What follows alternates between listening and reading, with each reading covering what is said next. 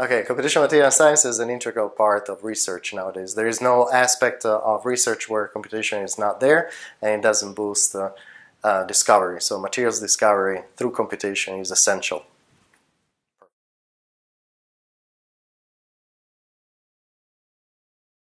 Um, computational material science uh, helps uh, um, discovery of, uh, of new materials, uh, systems uh, that can be used for IT technology, uh, information technology, and um, it's essential for what I'm doing in order to come up with new architectures and new ways to actually compute faster and cheaper and energy efficient.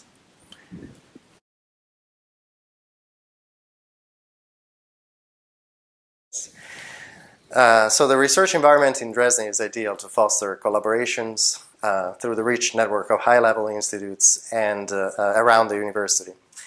Uh, the students impress me quite a lot for their enthusiasm and for their technical knowledge.